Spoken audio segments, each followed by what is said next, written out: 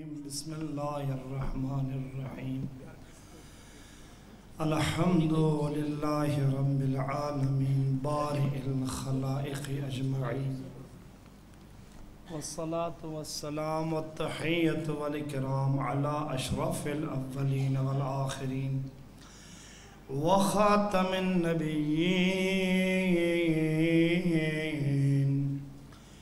الذي سمي في الآفاق بأحمد وفي الأرضين بأبي القاسم محمد. وعلى آله الطيبين الطاهرين الهداة المهديين. لا سيما بقية الله في الأرضين. أما بعد، قال الحكيم. في كتابه المتين قوله الحق وهو أصدق القائلين. بسم الله الرحمن الرحيم. ومن الناس من يقول آمنا بالله وباليوم الآخر وما هم بمؤمنين. أما بعد قالت زينب بنت علي. في سوق الكوفة يا أهل الكوفة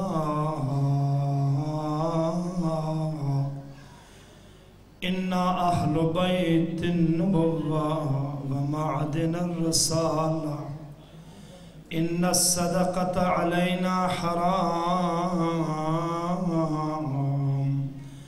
إنا لله وإنا إليه راجعون۔ بلن آواز سے درود پیش محمد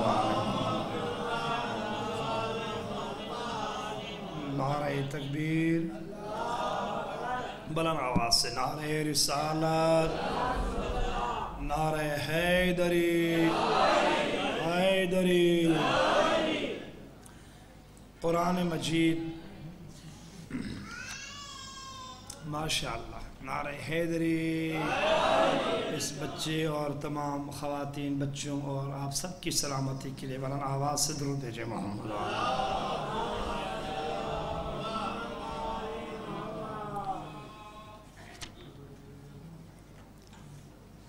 کل بھی آپ کی خدمت میں میں نے عرض کیا،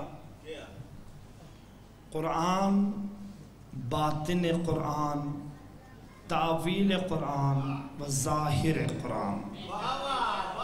قرآن کا ایک ظاہر ہے، ایک باطن ہے، اور اس باطن کا بھی ایک باطن ہے۔ اور اس باطن کا بھی ایک باطن ہے۔ یہاں تک کہ بطون قرآن ستر پردے میں چلا جاتا ہے، اور ان کا علم سوائے علی اور اولاد علی کے علاوہ کسی میں نہیں ہے۔ والراسخون فی علم بطون قرآن کا علم آل محمد کے پاس ہے۔ اور ہم سے سوال کیا جاتا ہے کہ علی کے فضائل قرآن میں کہاں ہیں؟ آج میں نے جو کتاب آپ کی خدمت میں لے کے آیا ہوں، جس میں ایک ہزار آیت فقط علی کے فضائل بیان ہیں نعرہ حیدری یہ ہے تفسیر و تعویل قرآن، جس میں سید محمد باقر نے لکھا یہ کتاب صلی اللہ علیہ اور اس میں ایک ہزار آیت فقط علی کی ولایت پر ہے۔ تین سو سولہ نام قرآن میں امیر المومنین کے نام ہیں۔ یہ الگ بات ہے۔ ہمیں ہمیں جو ہم تک مشہور نام ہے، علی کے ماں نے حیدر نام رکھا ہے اور خدا نے علی نام رکھا ہے۔ پیغمبر خدا صلی اللہ علیہ وسلم نے امیر المومنین کا لقب فرمایا۔ کب علی کو یہ لقب ملا؟ ابھی آدم پانی اور مٹی میں تھا، علی امیر المومنین تھا۔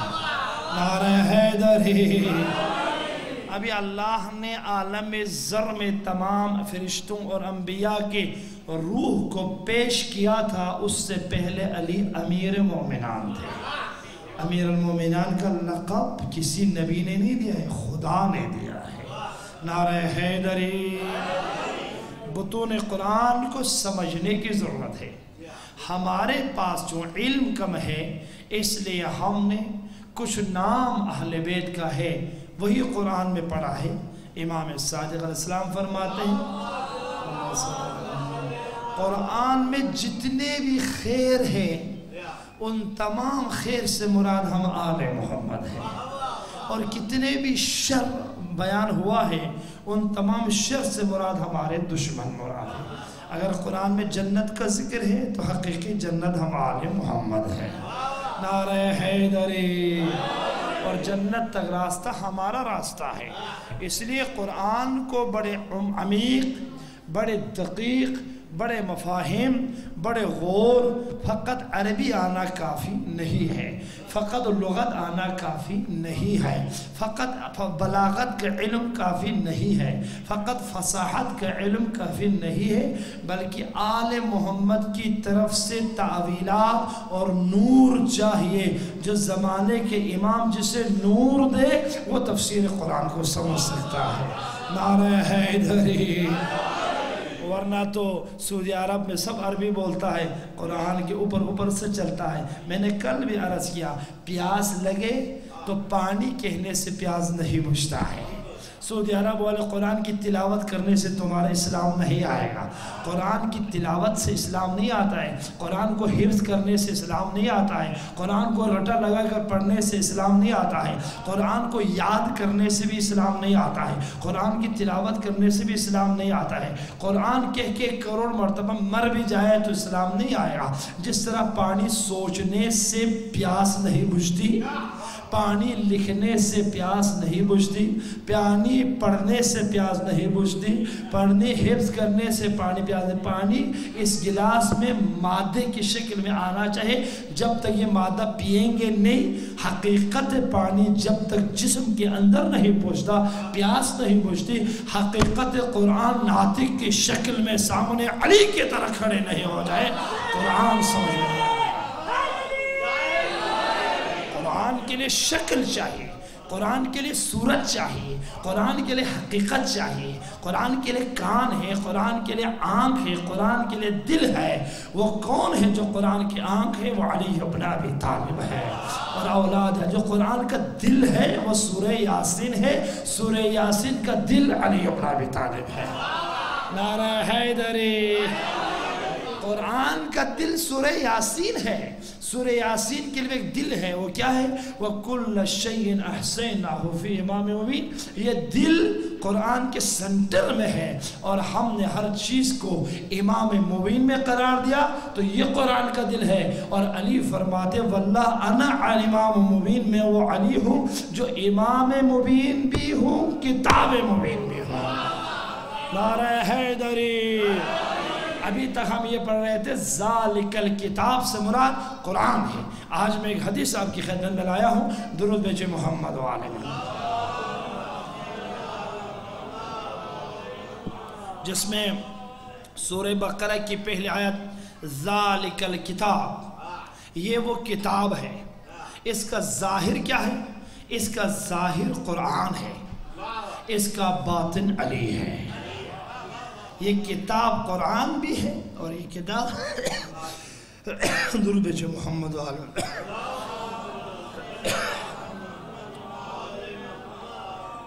جس میں امام سے روایت ہے، ابو بصیر کہتا ہے، میں امام صادق علیہ السلام کی خدمت میں آیا تو امام نے مجھ سے فرمایا، اے ابو بصیر، ذالک الکتاب، وہ کتاب جس میں شک کی کوئی گنجائش نہیں ہے اور وہ متقین کے لیے ہدایت ہے۔ اس آئے کا ظاہر قرآن ہے حادی ظاہر قرآن ہے، باطن کتاب علی ہے جو امام متقین ہے۔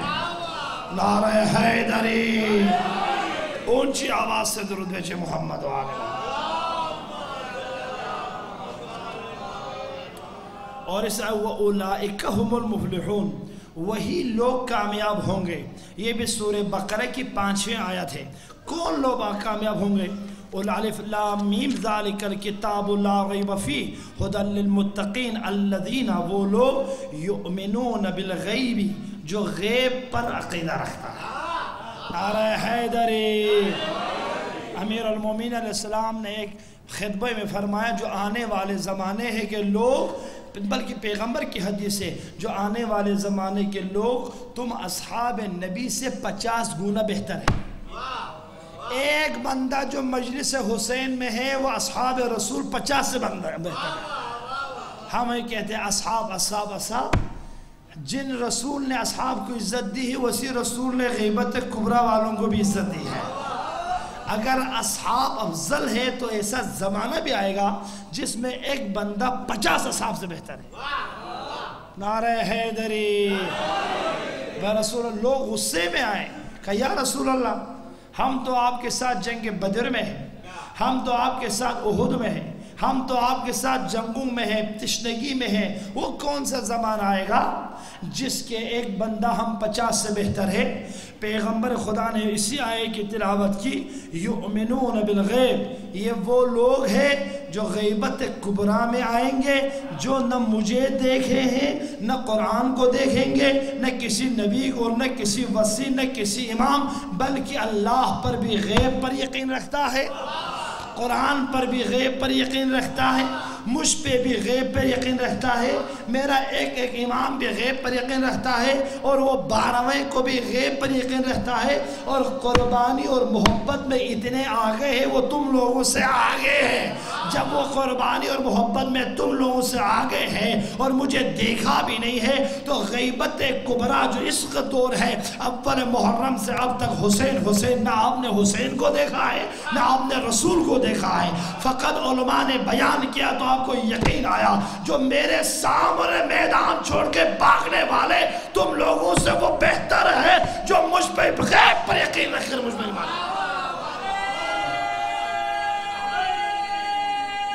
پوری طاقت سہار اٹھا کے حیدری۔ درود بیجے محمد و آل محمد۔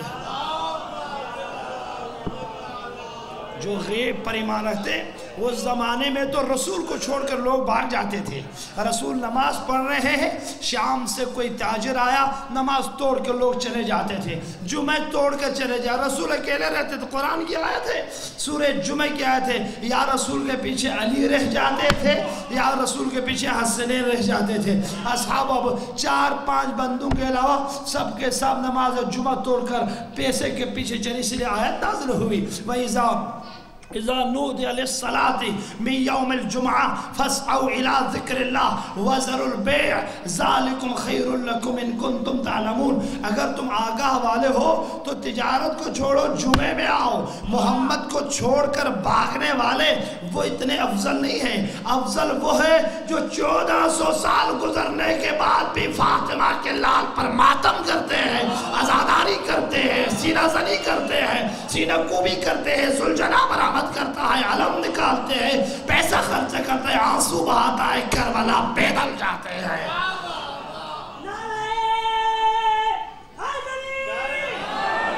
یہ وہ لوگ ہیں، یہ وہ لوگ ہیں جو اصحاب رسول سے افضل ہیں۔ یہ پیغمبر کی حدیث ہے۔ اصول کافی میں یہ حدیث ہے جو آپ اس وقت سانس لے رہے ہیں نا، اس پیغمبر کے ساتھ جنگ کرنے سے زیادہ ثواب ہے۔ کیوں؟ پیغمبر نے خود فرمایا، میں اللہ کا نبی ہوں، میں تمہیں وحی بتا رہا ہوں، میں تمہیں جنت دکھا رہا ہوں، جہنم دکھا رہا ہوں۔ تابق تا اس کے بعد بھی اتنا کمزور عقیدہ کہ تین مہینے میں غدیر بھول گیا۔ تین مہینے کے اندر فاطمہ کے گھر کو جلا دیا۔ تین مہینے کے اندر اس دروازے کو جلایا جس پر جبریل کھڑے رہتے تھے۔ تین مہینے کے اندر علی کو بھول گیا اور فاطمہ کو دربار بلایا۔ فدق کو جھٹلایا، زہرا کی تدھیر کے خلاف بات کی اور فاطمہ زہرا کو جھٹلایا اور فدق چنا۔ تین مہینے کے اندر اتنا بغاوت اتنا بغاوت۔ لیکن چودہ سو سال بعد غیبت کبرا میں ایسے لوگ آئیں گے جو نجب سے کربلا پیدل جائیں گے اور ان کو میرا حسین یاد رہے گا۔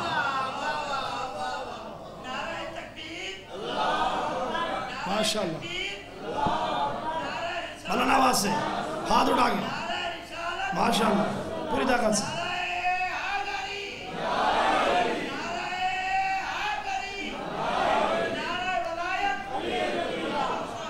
پوری طاقت سے۔ ہاتھ اٹھا کے۔ زندہ باد زندہ باد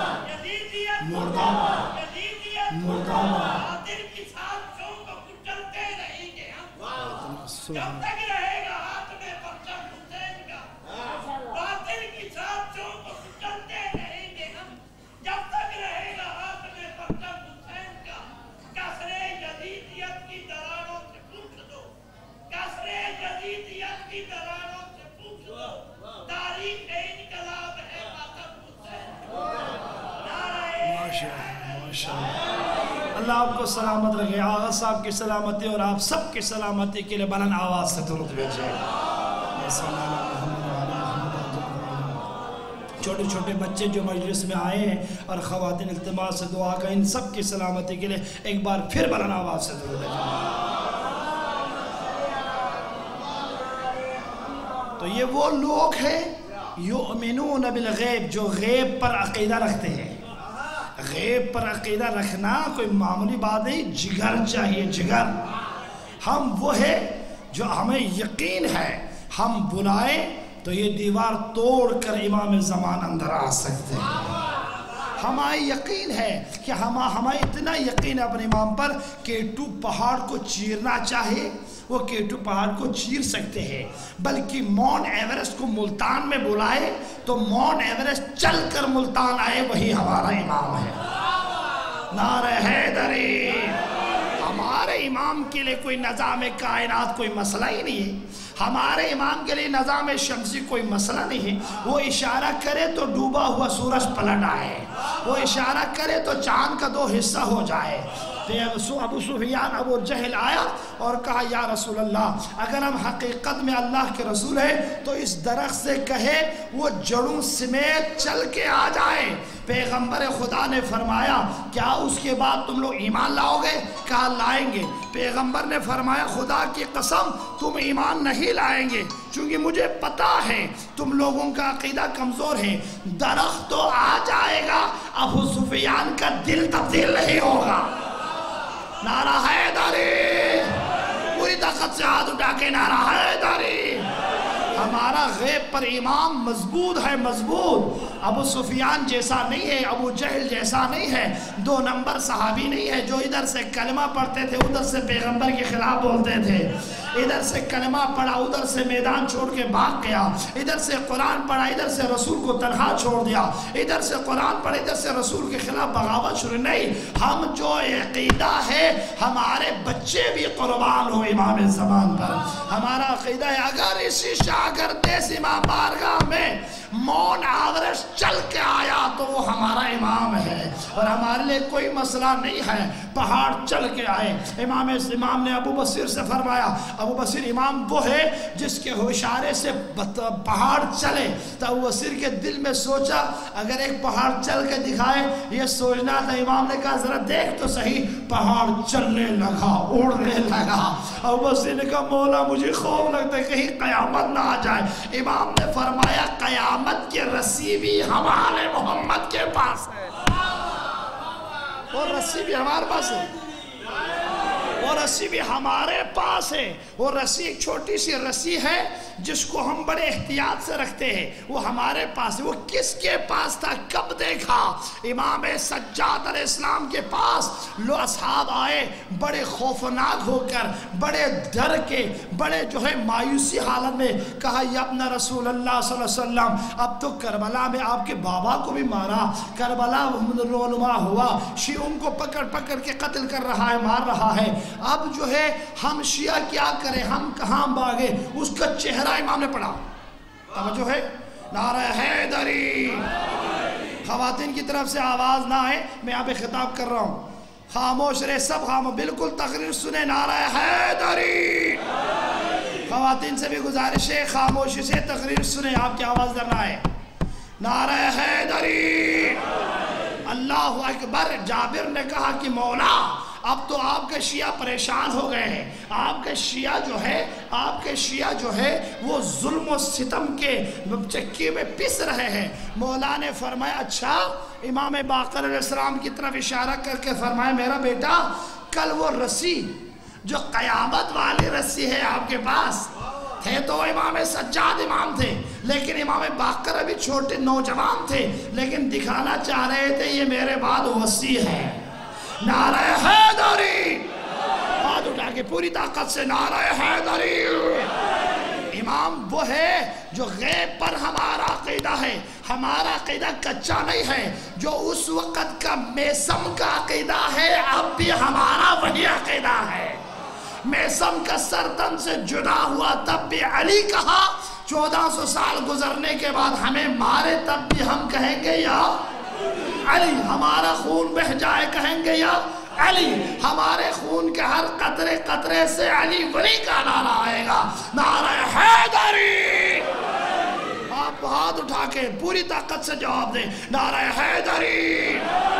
اللہ آپ کو سلامت رکھے۔ اس وقت یہ جابر کہتا ہے، میں دوسرے دن امام باقر کے پاس گیا تو امام نے مجھ سے کہا، جابر چلو چلو وہ رسی میرے مسجد میں۔ میں امام کے ساتھ گیا، مسجد میں ہم نے نماز پڑھی۔ نماز پڑھنے کے بعد امام سے میں نے کہا، مولا، آپ سجدے میں، امام سجدے میں چلے، بڑی دیر تک سجدے میں رہے۔ جب سردے سے سر اٹھایا تو چودوے چاند کی طرح چہرہ چمک رہے تھے۔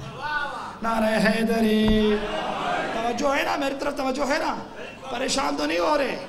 میں غیب پر بیان کر رہا ہوں. یؤمنون بالغیب. یہ وہ لوگ ہیں ماتم کرنے والے غیبت کبرا میں جو غیب پر عقیدہ رکھتے ہیں. جب غیب پر عقیدہ رکھتا نتیجہ بھی آئے گا دوسری آیت میں. غیب پر عقیدہ رکھتے ہیں اور نماز قائم کرتے ہیں اور جو ہم رزق دیتے ہیں، وہ راہ سبیل خدا نظر نیاز میں خرچ کرتے ہیں. نعرہ حیدری۔ سال بھر کماتے ہیں، پھر حسین کے نام پہ خرچ کرتے ہیں۔ ایران میں ایک میرا دوست تھا جو دو جاب کرتا تھا۔ ایک جاب دن کو، ایک جاب رات کو۔ اور تین سے دو گھنٹہ وہ گھر میں ہوتا تھا۔ میں نے مجھے اتنے سخت تم جاب کیوں کرتے ہیں؟ ایک جاب کا بھی کہا، ایک جاب فاطمہ کے لیے۔ ایک جاب میرے اپنے بچوں کے لیے۔ میں نے کہا، کیا مطلب فاطمہ کے لیے تمہارے جاب کی ضرورت ہے؟ کہا، تو آپ نے سمجھا نہیں میرا دوست. میں نے سمجھ گیا تھا لیکن میں اسے کہہ رہا کیا مطلب؟ اس نے کہا، حضرت زہرا کی شہادت پہ دس دن عشرہ ہے میرے گھر میں، تو یہ پورا سال کا خرچہ خمس نکال کے فاطمہ کے نام پہ کھانا دینا ہے۔ میں یارہ مہینہ خون پسینہ کر کے جو پیسہ کماتا ہوں، وَمَا وَيُنفِقُونَ۔ قرآن کہتا ہے، مِمَّا رَزَقْنَاهُمْ يُنفِقُونَ۔ یہ وہ لوگ ہیں، جب میں رزق دیتا ہوں تو اہل بیت کے نام پہ خرچہ کر دیتا ہوں ہاتھ اٹھا کے، ہاتھ اٹھا کے، نعرہ حیدری۔ آواز ابھی کمزور، آج آخری مجلس سے بلند آواز سے ہاتھ اٹھا کے، نعرہ حیدری۔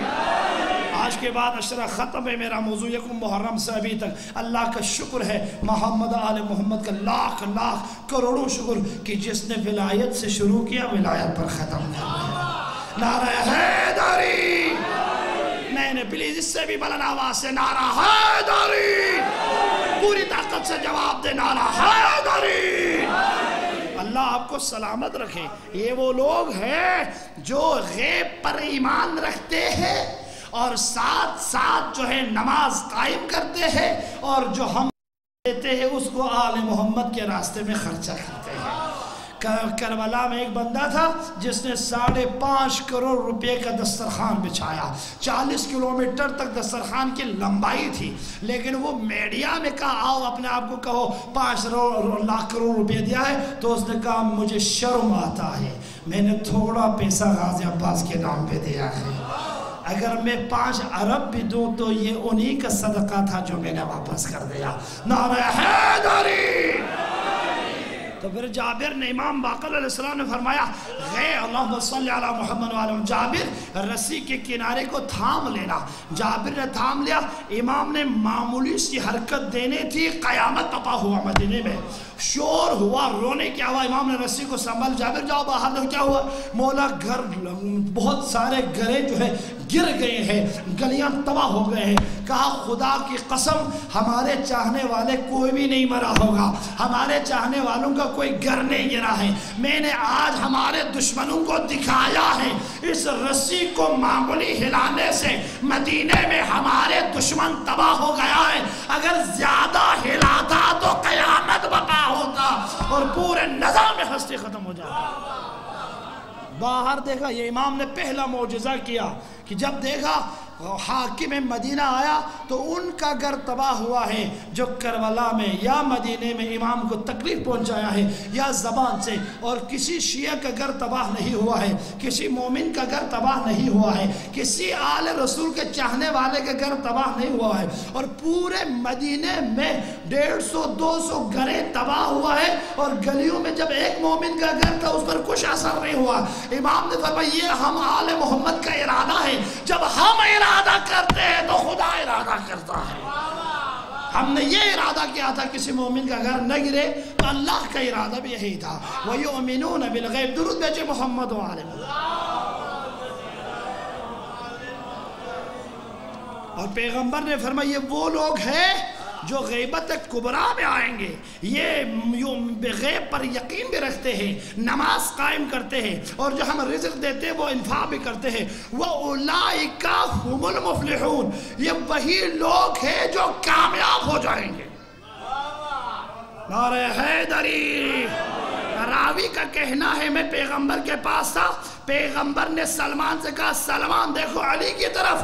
وَحِسْبُهُ هُمُ الْمُفْلِحُونَ۔ یہ آیت علی اور علی کے شیعوں کے بارے میں نازل ہوا ہے۔ یہ وہ لوگ ہیں جو علی کا شیعہ ہے، وہی کامیاب ہو جائیں گے قیامت تو یہی کامیابی کے راز ہے درود بجے محمد و آل محمد۔ تھکے تو نہیں ہیں؟ ماشاء اللہ خدا آپ کو سلامت رکھے۔ تھکے تو نہیں ہیں؟ نعرہ حیدری۔ پوری طاقت سے نعرہ حیدری۔ اونچی آواز سے درود بیجی محمد والے۔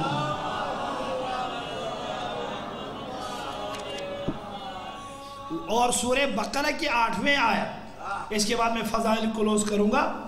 فضائل کو میں جمع کروں گا یہیں پہ۔ سورہ بقرہ کی آٹھویں آیت میں فرماتے ہیں، وَمِنَ النَّاسِ مَنْ يَقُولُ آمَنَّا بِاللَّهِ وَبِالْيَوْمِ الْآخِرِ اے رسول، کچھ تو ایسے لوگ بھی ہیں جو آپ کے پاس آ کے تو بڑے تسبیحات میں ہو کر استغفار کرتے ہیں۔ اور آپ کے سامنے کہتے ہیں، ہم مومن ہیں، اللہ جی اللہ اور اس کا رسول۔ آخرت پر وَهُمْ لَا يُهُمْ وَمَا هُمْ بِمُؤْمِنِينَ اور خدا کو پتہ ہے، یہ منافق ہے، یہ ایمان والے نہیں۔ نعرہ حیدری۔ خدا کو پتہ ہے یہ منافق لوگ ہیں، انہوں نے ایمان لے کے نہیں آیا ہے۔ درود بیچے محمد و عالم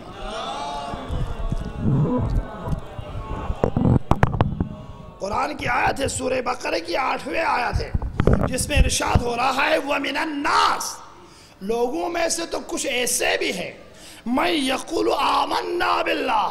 بولو جی داڑی شاڑی لگا کے سب کچھ شکل بکل بنا کے تسبیح لے کے یا رسول اللہ، ہم تو بڑے ایمان والے ہیں۔ ہم تو آخرت پر بھی ایمان رکھتے ہیں۔ قرآن کہتے ہیں، وما ہم بمومنین یہ ایمان والے نہیں ہیں، منافق ہیں۔ اب اس آیت کی تفسیر کیا ہے؟ امام موسیٰ نے جعفر اسلام فرماتے جب غدیر کا دن آیا، جب غدیر کا دن آیا تو خدا کا حکم تھا کہ غدیر کے دن علی کو ولی بنائے۔ علی کو ولی بنائے اور دکھائے ہاتھ اٹھا کے من کن تو مولا۔ دیکھو، یہ آیت غدیر کے بارے میں ہے۔ ہم کیا، ہم تو آئے غدیر کے پیچھے، آئے غدیر تو ہے۔ پورا سورہ بقرہ میں بھی غدیر کا تذکرہ ہے۔ یہی تو معجزہ ہے، ایک آیت بقرہ میں ہے، ایک آیت نمل میں ہے۔ تاکہ منافقین کو پتہ نہ چلے غدیر کی آیت قرآن میں کہاں کہاں ہے، یہ تو صاحبان علم کو پتہ چل جائے گا۔ نعرہ حیدری۔ درود بیجے محمد و آل محمد پہ۔ صاحبان علم کو پتہ چل جائے گا۔ سورہ بقرہ کی آٹھویں حدیث آیا، وَمِنَ النَّاسِ مَنْ يَقُولُ آمَنَّا بِاللَّهِ۔ وَبِالْيَوْمِ الْآخِرِ لوگ آپ سے کہیں گے، ہم نے اللہ پر بھی ایمان لائے ہیں اور ہم نے آخرت پر بھی۔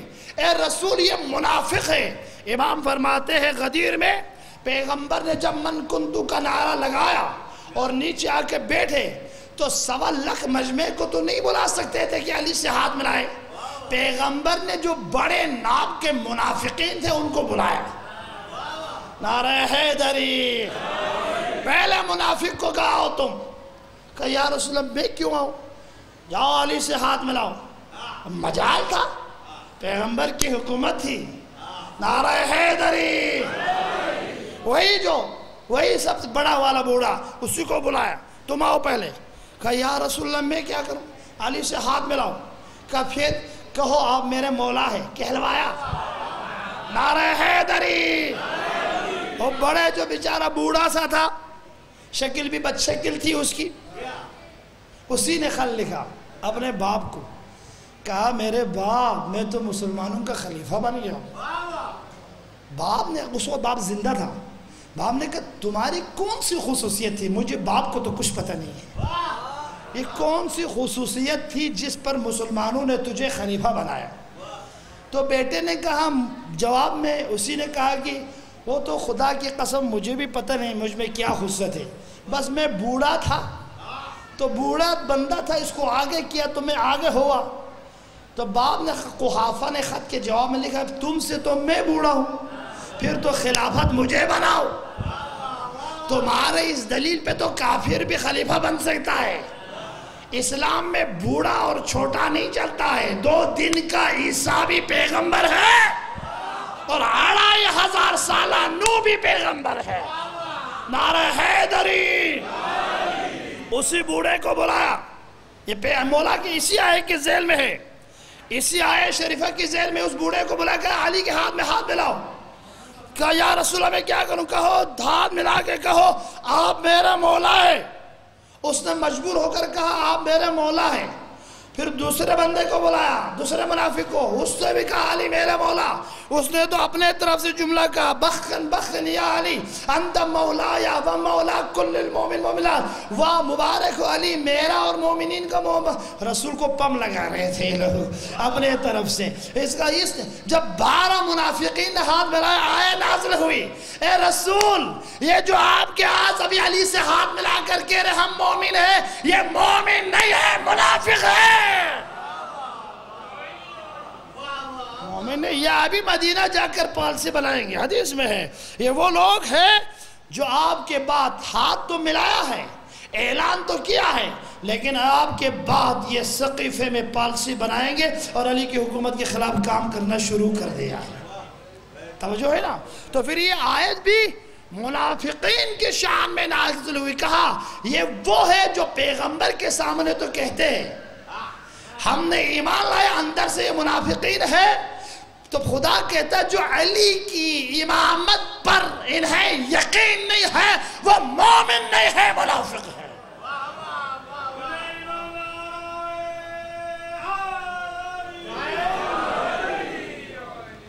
ابھی مجھ سے پہلے، میرے محترم گرزی صاحب جو خطاب میں کہا، جوان خطیب نے کہ کچھ الفاظ مقرر کے زبان پہ آ جاتا ہے۔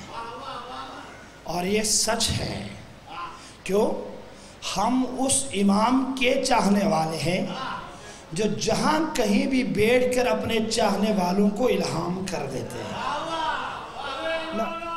الہام کرتے ہاتھ اٹھائیے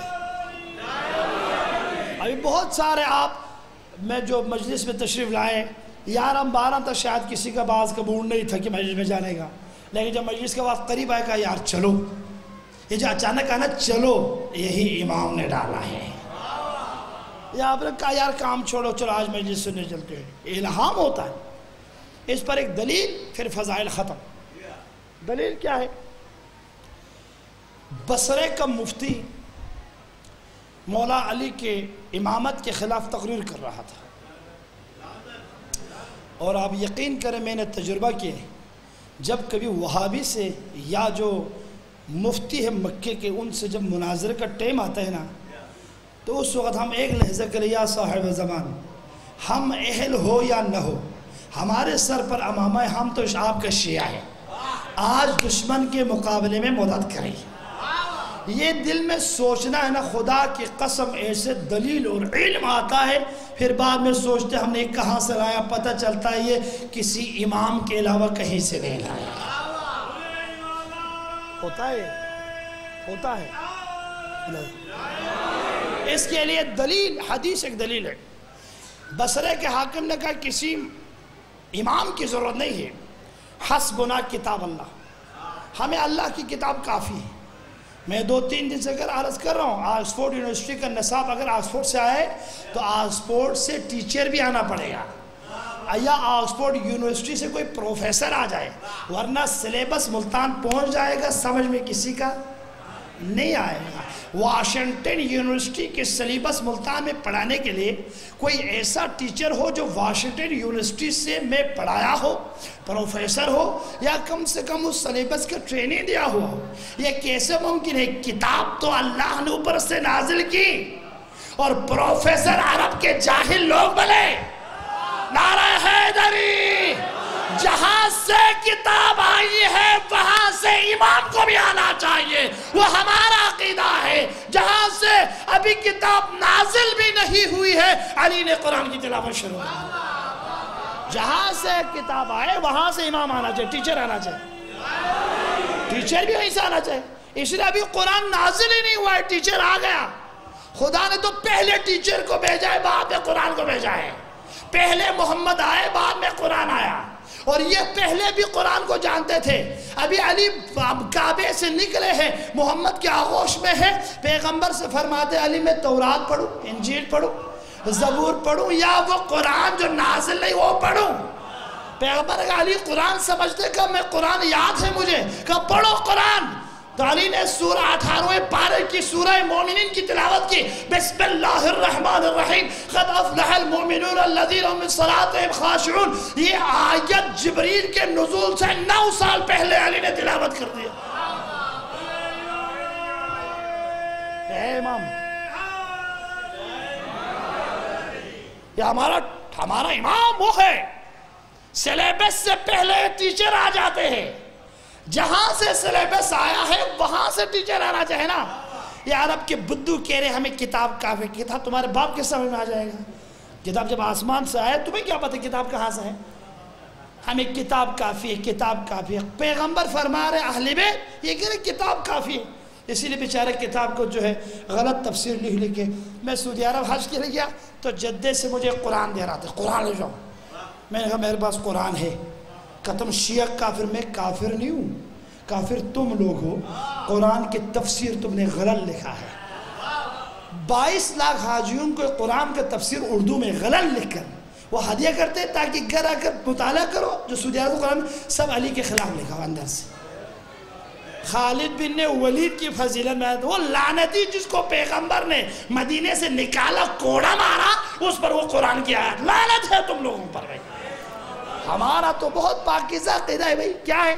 وَلَا يَمَسُّهُ إِلَّا الْمُتَحَّرُونَ جس طرح قرآن کو وضو کے بغیر چھو نہیں سکتا، وارث قرآن کو بھی وضو کے بغیر سمجھ نہیں سکتا۔ ہے یہ اہل بیت ہے۔ اور ہمارا قیدہ ہے، اگر ہم یہی ممبر پر کہیں، یا صاحب زمان۔ تو امام ہمارے سنتے بھی ہیں اور مدد بھی فرماتے ہیں۔ ابھی حاکم بسرہ نے کہا امام کی ضرورت نہیں ہے۔ تو ایک خوبصورت سا ایک پتلا سا جوان بیٹھا تھا محفل میں کھڑا ہو گیا۔ اے مولوی، تمہارے کوئی آنکھ ہے؟ نعرہ حیدر مفتی مولوی کو تو غصہ آ گیا۔ کہا، تمہیں نظر نہیں ہے میری آنکھ؟ بتاؤ تمہاری آنکھ ہے جواب دو۔ اب مجلس تھا، اگر کوئی مجھ سے کہے، مولانا، آپ کی آنکھ ہے میں کہوں گا، ہے۔ آنکھیں ہے کہا، آنکھوں سے تم کیا کرتے ہو؟ بھائی دیکھتا ہوں، تمہارے ناک ہے ہاں کیا کرتے میں سونگتا ہوں، زبان ہے، کیا کرتے میں کھانا چکتا ہوں، کھاتا ہوں، کان ہے ہاں ہے، کیا کرتے ہو؟ اس سے میں سنتا ہوں، ہاتھوں سے میں کام کرتا ہوں۔ تو اس جوان نے کہا، تمہارا دل ہے۔ حیداری بلن آواز سے نعرہ حیداری تمہارا دل ہے۔ اس نے کہا، یہ کیا بات ہوئی بھائی؟ دل ہے کہ جب تمہارے ہاتھ بدبخ کام کر رہے ہیں، تمہارے نجس پاؤں کام کر رہا ہے تمہاری آنکھیں دیکھ رہی ہے تمہارے کان سن رہے ہیں، تمہارے زبان سے کچھ بول رہے ہو، تو دل کی کیا ضرورت ہے؟ اللہ نے تمہارے سینے میں دل کیوں رکھا ہے؟ تو مفتی نے جواب دیا، اے جوان، دل کنٹرول روم ہے۔ دل اس جسم کا امام ہے۔ دل آنکھوں کو کنٹرول دل کرتا ہے۔ فلٹر خون کا فلٹر کرتا ہے، صاف خون جسم کو دیتا ہے، گندہ خون لا کر فلٹر کرتا ہے۔ اگر دل کام کرے تو آنکھیں کام کرے گی، ہاتھ کام کرے گا، پاؤں کام کرے گا۔ نظام انہضام، نظام تنفس، نظام دوران خون، نظام عصبی۔ اگر دل رکے گا، تمام نظام رکے گا۔ تو جوانے کا بیقوف کا بچہ جب تمہارے جسم کو خدا نے بغیر امام کے خلق نہیں کیا، تو اس کائنات کو بغیر امام کے خلق کیا؟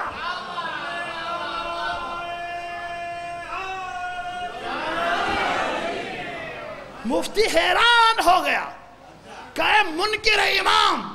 پیغمبر سے لے کے قیامت تک کے سارے لوگ بغیر امام کے ہیں۔ اور خدا نے تیرے جسم کو امام بنایا۔ کہ لگتا ہے تو صادق آل محمد کے شاگر ہو، شام ہو۔ اس نے سنا ہاں میں ہوشام اٹھارہ سال کا جوان تھا۔ میں ہوشام ہوں وہ اتنا ذلیل ہوا، وہ مفتی۔ ابا یوں سر پہ ڈال دیا اور گر گیا اور مر گیا۔ تین دن میں مر گیا۔ ہوشام اٹھارہ سال کا امام صادق کا شاگرد تھا۔ کوئی مولوی مفتی اس سے باز نہیں کرتا تھا۔ یہ ہے، اب آپ سے یہ بتانا ہے ہوشام کو یہ درس کس نے سکھایا؟ نعرہ حیدری۔ نہیں بھائی، آخری فضائل پڑھ رہا ہوں، پھر آج آخری مجلس، پھر انشاءاللہ آئندہ سال زندہ رہے تو ملاقات ہوگی، نہیں تو نہیں۔ ہاتھ اٹھا کے نعرہ حیدری۔ تو پھر ہوشام نے یہ کہاں پڑھا تھا؟ جب یہ واپس آئے مدینہ، تو امام اپنے کچھ صحابی کے ساتھ استقبال کے لے گئے۔ خوشیام جوان لڑکا استقبال کے لے گئے۔ یہ ہے علی کی ولایت کا فائدہ یہ ہے۔ مولا، مجھے شرمندہ کیوں گیا کہا امام نے فرمایا، جب تم بسرے میں اٹھ کر مفتی کو ذلیل کر رہا تھا، میری ماں فاطمہ دعائیں دے رہی تھی۔ پوری طاقت سے۔ ہماری ولایت کا دفاع کرو، دفاع! ہمارے ہمارے ولایت اور ہمارے گھر کا جب دفاع کرتے نا، تو سب سے پہلے میری ماں زہرا دعا دیتی ہے۔ اس لیے جس کو میری ماں دعا دے، میں اس کی استقبال کے لیے آگے آیا ہوں۔ پھر امام نے ایک جلسے کے اہتمام کیا، جس میں حشام سے کہا، جس مفتی کو تم نے ذلیل کیا، وہ واقع در سناؤ۔ تو امام مولا آپ کے حضور کہا، ہم جو حکم کرتے ہیں تم پر عمل کرنا پڑے گا۔ وہ ڈر گیا، پھر اس نے جیسے امام جیسے سنایا تھا، ایسے صحابیوں کو سنایا، پھر امام نے اسے ایک سوال کیا۔ فضائل ختم۔ کہا اچھا حشام یہ بتاؤ، یہ دلیل تم کو کس نے سکھایا تھا؟ میں نے تو نہیں سکھایا تھا کہ ہاں، مولا ہاں کسی کتاب میں کہا کسی کتاب میں نہیں پڑھا۔ پھر کیسے آیا؟ کہ جب میں اٹھا تو اچانک میرے ذہن میں یہ بات آ گئی کہا ہاں، حشام خدا کی قسم وہ میں تھا۔ جب تم اٹھا تو میں نے مدینے سے تیرے ذہن میں بات ڈال دے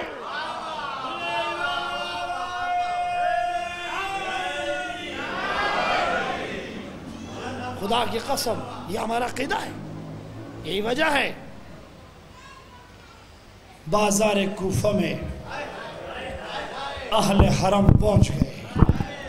وہ غربت تھا وہ مصیبت۔ اللہ اکبر۔ سلام ہو علی کی بیٹی زینب۔ سلام ہو حسین کے چھوٹے چھوٹے بچوں پر۔ سلام ہو اہل بیت رسول اللہ صلی اللہ علیہ وسلم پر۔ سلام ہو حسین کی بیٹی سکینہ اور رقیہ پر۔ خدا کی قسم۔ کربلا تک کیا معرکہ تھا؟ اب یہ بچے تو یارہ محرم سے تیرہ تو بارہ تک، آج کی شام تک ننگے اونٹوں پر، بے کجاوہ اونٹوں پر سوار اور تمام سرحائے مقدس ان کے سروں کے سامنے اور یہ سب کوفے میں داخل ہو گئے۔ خدا کی قسم، قیادت کون کر رہے ہیں؟ اس قافلے کا قائد کون ہے؟ اس قافلے کے تین قائد ہیں۔ ایک علی کی بیٹی زینب ہے۔ ایک امام سجاد ہے۔ ایک نو کے نیزے پر سر حسین ہے۔ واہ غربت واہ، مصیبت۔ امام سیدہ بھی قیادت کر رہی ہے۔ اور سب سے اونچی مقام سے، جگہ سے امام حسین قیادت کری کو امام سجاد فرمت خدا قسم، میری ماں، میرے بابا کے سر ایک ایک اہل بیت کی طرف دیکھتا رہا، کربلا سے کوفہ کوفہ سے شام۔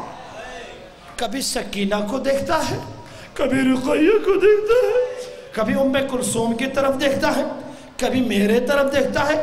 لیکن ایک فرق ہے، جب بھی علی کی بیٹی کی طرف دیکھتا ہے حسین آنکھیں بند کر دیتے ہیں لیکن سیدہ کی طرف آنکھ اٹھا کے نہیں دیکھتے۔ جب سیدہ آمن سامنے ہوتے ہیں تو حسین آنکھیں بند کرتے ہیں۔ سیدہ نے امام سجاد سے سوال کیا، اے زمانے کے امام، حسین ابن علی میرے بھائی، سب کی طرف دیکھتے ہیں، میرے طرف آنکھیں بند کرتے ہیں۔ اس وقت امام خون کے آنسو بہا کے فرماتے ہائی میرے غریب بابا سے برداشت نہیں ہوتا کہ علی کی بیٹی زینب اسیر ہو اور نو کے نیزے پر حسین ہو۔ اس لیے خدا کی قسم، ازاداران سید شہدہ آج علی کی بیٹی نے خطبہ دیا۔ ایسا خطبہ دیا کہ بازار کوفے میں ہلچل چل مش گیا۔ ایسا خطبہ دیا لوگوں کو علی کا زمانہ یاد آ گیا۔ ایسا خطبہ دیا کہ حسین کی غربت اور مظلومیت کو کوفہ کے عوام تک پہنچایا اور عبید اللہ اور یزید کو ذلیل کیا۔ ایسا خطبہ دیا جب علی کی بیٹی نے اس کت کہا نا، یہ عام اس کت نہیں کہا، تھا یہ صاحب ولایت کی بیٹی نے ولایت کی طاقت سے کہا۔ خاموش ہو جاؤ، ایک کوفہ پالو۔ تبل بجا رہے تھے، کوئی ڈانس کر رہا تھا، کسی کے ہاتھ میں پتھر تھا، کوئی سٹی بجا رہا تھا۔ علی کی بیٹی نے ایک دفعہ کہا، یا اہل کوفہ اس کو خاموش ہو جاؤ، سراٹا چھا گیا۔ زمانے بل ہو گئی۔ حتیٰ اونٹ کی گردن اور گھوڑے کی گردن کی گنٹی نے بھی آواز نکالنا چھوڑ دیا۔ یہ سیدہ کی ولایت تھی۔ یہ علی نے اپنی طاقت دکھائی۔ انا زینب بنت علی، میں ہوں علی کی بیٹی زینب۔ ہم کوئی خارجی نہیں ہے، یہ سر حسین کا سر ہے۔ اور ہم اہل بیت رسول ہیں۔ کوفہ والا رونا شروع کیا، چونکہ غلط پروپیگنڈا بھی ہوا تھا۔ بہت سارے لوگ نہیں جانتے تھے کون ہیں کہا، ہم محمد کی، میں محمد کی نواسی ہوں، میں فاطمہ کی بیٹی ہوں۔ ایک کوفہ، پھر سب رونا شروع کیا نا؟ تو سیدہ نے کہا، اب تم روتے ہو؟ میرے حسین کو قتل کر کے۔ خدا تمہیں قیامت تک رلائے اب تو میرے بھائی کے سر نوزے پہ چڑھا کر اور ہمیں جو ہے دیلم اور روس کی خواتین کی طرح ہاتھ باندھ کے ہمیں کجاوے پہ بٹھا کر اونٹ پہ بٹھا کر لائے اور اب تم رو رہے ہو۔ خدا تمہیں قیامت تک رلائے۔ اب تم نے ایسا سودا کیا ہے کہ جس کا نتیجہ جہنم ہے، جس کا رحمت مختار، تم کی شفاعت تم پر حرام ہو گئے۔ ایسا خطبہ دیا کہ انقلاب بپا ہو گیا۔ سب یزید پر لانت بیچنا شروع کیا۔ یہ پہلا ہی خطبہ تھا کہ علی کی بیٹی نے خطبے کے اثرات حتی لوگ کہتے تھے جو نہیں دیکھ سکتے تھے، باہر سے سن رہے، وہ کہتے تھے، لہجہ بھی علی کا ہے، بلاغت بھی علی کی ہے اور روب بھی علی کا ہے، دبدبہ بھی علی کے ہے۔ علی ہے، کون ہے؟ تو جواب دیتا تھا، یہ علی کی غریب بیٹی زینب ہے۔ اٹھارہ سے جدا ہو کر آئے، واہ قربتا بس آج میں دفن کے کچھ مسائب پڑھنا چاہتا ہوں۔ ازادارین سید شہدہ بعض لوگ کہتے ہیں کہ امام کس نے دفن کے شہداء کربلا کو؟ ہمارا عقیدہ یہ ہے، امام کا لاش امام کے علاوہ کوئی دفن نہیں کر سکتے۔